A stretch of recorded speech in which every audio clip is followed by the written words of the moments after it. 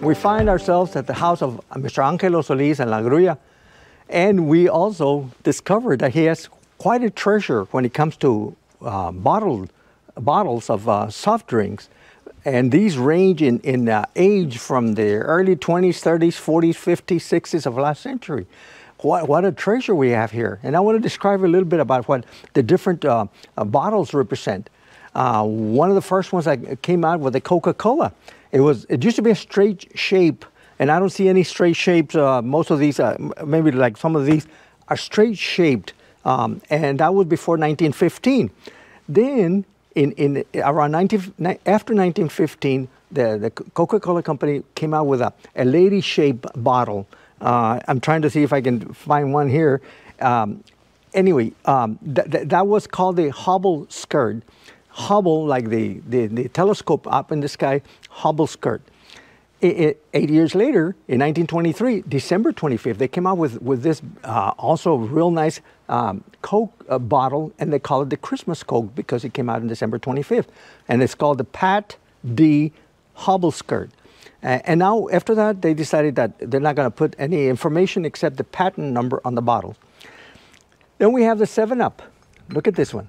Now everybody is familiar with 7-Up.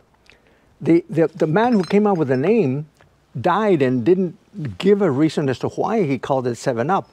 But this is what we know from the company. The, the, the, the drink itself, the 7-Up, contains seven natural flavors blended into a savory, flavory drink with a real wallop or kick.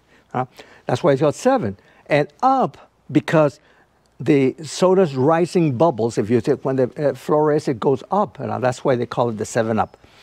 Then we have the Nehi, N-E-H-I bottle, all right? And this one, this one, um, the name Nehi, N-E-H-I, was purposely chosen to remind everybody that it's a knee-high bottle. It's, at the time, it's one of the taller bottles. Knee-high, knee, right?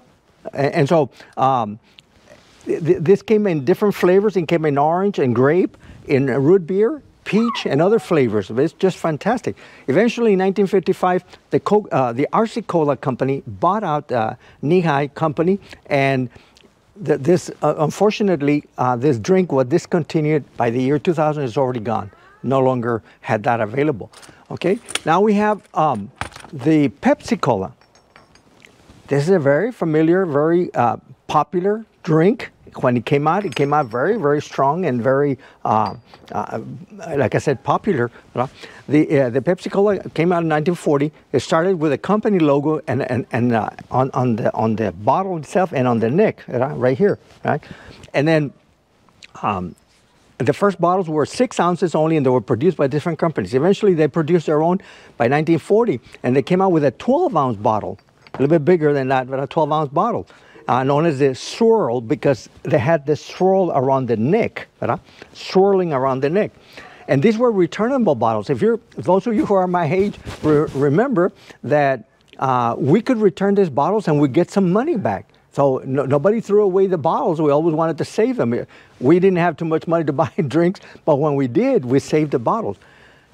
By 1960, uh, PepsiCo, or the Pepsi Cola uh, company, uh, decided that they needed uh, non-returnable bottles, and that's when they came up, and that became very popular. They, uh, they uh, had these bottles and also some cans and plastic that were non-returnable. People just threw them away, and that became very popular. They got tired of having to return the bottles. So we eh, we also have some more. We don't have a whole bunch of information, but look at this. This is a Canada Dry Spur, Spur, and then we have uh, this one over here, which is uh, the Red, Red Rock Cola. Uh, is this the one from Mission? Oh, I, I, think the Spur was the one, right? Oh, this one, okay. Oh, yeah, the Mission beverages. You look at that. All these are collectible collectible items, and, and Mission Texas. I, I, don't know if it's Mission Texas, but they're all collectible items, and, and we, we want to make sure that that we um, uh, come on, uh, save these. Now, the Big Chief also was very very popular. This, uh, this was eventually, of course, uh, uh, was produced by the Coca-Cola bottling company, company, but it started on, on its own. This came out about 1925 in Kansas.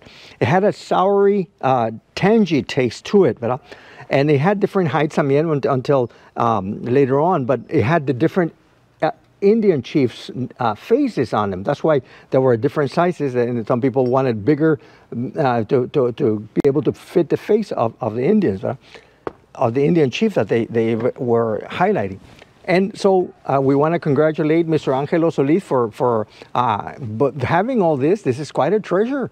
And, and it's a collectible item. And he has Eh, many more. and he has he tells he's telling us that he has many more. He even has the containers where they can be stored.